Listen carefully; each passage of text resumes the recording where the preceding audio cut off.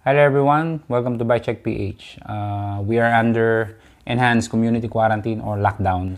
Hopefully okay kayo dyan. So ako as much as possible, I'm staying indoors. Iingat lang din, not to spread the virus, not to get the virus and not to spread the virus. Kasi, I mean, hindi man ako makatulong, ayoko maging pabigat. Diba?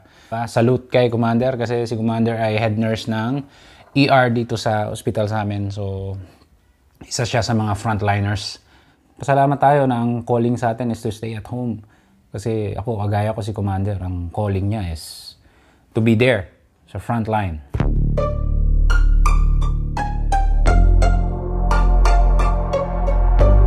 Anyway, what we got here is the Syncross fenders. So these are designed for Fox 36 and Fox 34. Kasi yung mga fork na yun, yung pinakang bridge niya, yung brace, merong mounting, dalawang mounting holes para sa bolts, para sa fender na to. Ayan, so nag-hook to sa bridge tapos i-secure mo siya using two bolts which is this one. Kasama na siya. And may kasama na rin siyang uh, torque wrench. The size ng wrench nito is uh, smaller than the usual. Uh, kadalasan kasi yung T25 which is yung size ng rotor bolts. This one is the smaller. So medyo kung multi-tool, kung tatanggalin mo siya sa daan or ayusin mo siya sa daan, medyo wala kang dala unless dala mo yung ganitong tools. Although bihira naman yon, mas secured naman to. Plus, wala ka ng zip tie kasi yung common na ginagamit natin yung parang folder material, yung parang plastic na binabaluktot lang natin. Yung mga cheaper na version ng fenders, parang ano siya eh, parang folder or clear book na ginupit, parang ganun. Uh, zinizip tie natin yon so, so, hindi siya ganun kalinis tingnan. Pangalawa, medyo na-scratch yung fork. So kung ang fork mo ay medyo fox, so you might want to consider getting this instead of those kasi yun nga, to avoid scratches and for a cleaner look. Kaya lang, medyo expensive to. Ang pinakamura na nakita ko ito is 650. Although parang panay sold out sila. Other than that, ang madalas ko makita is 1,600. So medyo stiff ang presyo nito. So sana magkaroon ulit yung mga 650. Pero meron eh, pero kadalasan sold out na. Anyway, you can just search for them in Facebook, Syncross Fenders. So ikakabit natin to doon sa uh, Levo. So, specialized Levo kasi siya yung naka-Fox 36. Nagkaroon tayo ng unboxing and initial impressions sa mga products na yun. So, this one is additional for the build. The material is plastic and it's flexible. Uh, mga ganitong plastic, ano, kadalasan mas matibay yung flexible. Kasi, so pag nagra-rattle siya, tapos pag nadadali, instead na nababasag, it just flex. So, tinatanggap niya yung mga ganong uh, abuse. It's just a typical plastic, flexible. Yan, may Syncross logo dito sa ibabaw. So ito yung nag-hook sa bridge. Uh, it has additional plastic tabs. So ito yung papasok din doon sa bridge for additional support.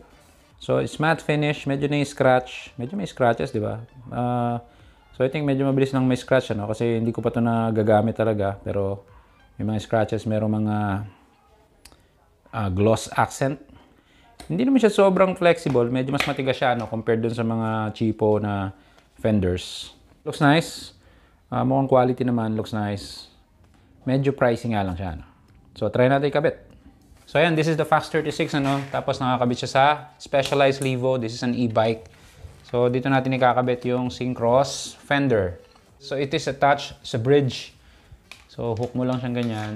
And then you have to secure it with the two bolts. Dapat na lapat siya. It's perfect fit. Check natin yung clearance. This fork is boost and plus tires to. The fork can actually accommodate 29 and 27.5 plus. So, ang clearance niya ay malaki. Guwapo, no? Baka may magtanong kung mag-fit siya sa ibang fork. Ano? This is uh, RockShox Pike. Uh, hindi siya perfect fit, syempre. Pero if you want, if you really want to use it, uh, pwede mong i-cut siguro. Retro fit na lang. Uh, tapos zip tie kasi wala namang mounting yung fork. So hindi siya advisable pero tingin ko kayang gawin. So ganyan na itsura niya sa RockShox. So this one is the old 36. This is non-boost.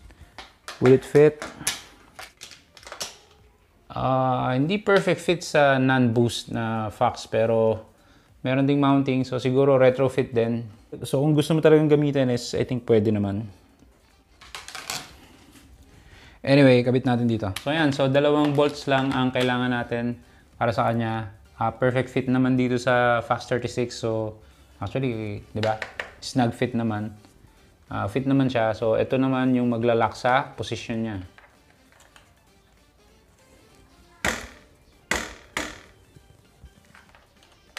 Yan, mukhang okay na. Medyo may sound ano. Pero nakatry na ako ng ganito sa trail, wala naman. Wala naman. Hindi naman masyado rinig. May mga experience kami na pag sobrang putik, tinatanggal namin yung fender. So kung zip tie, ginugupitan lang namin. This one, kailangan mo lang yung 2 bolts, which is, ang issue ko lang, iba yung size, walang kasamang ganong size sa uh, multi-tool. Well, at least sa mga nagagamit ko, no? Pero yun nga, yun yung mas maliit siya sa T25 eh. Ganda naman, di ba? So this is available pala in black and orange kasi merong orange na Fox. So kung orange yung Fox mo, you might want to get the orange fenders. That is not the first time na nakagamit ako niyan. Uh, yung Saracen Ariel na, na bike check natin before, nakaganyang synchros fenders din. So far, it's okay. Wala namang rattle, walang ingay, wala namang issues. Yun lang talagang comment ko sa kanya is parang masyado mahal yung 1.6 na nakikita kong presyo. The 650 is enough, I believe. Uh, sana maging ganun ulit yung presyo niya, no? Anyway, that's our short review sa Syncross Fenders. Thank you very much for watching. Kita kayo sa sunod na episode. This is Jay. You're in Bike Check PH.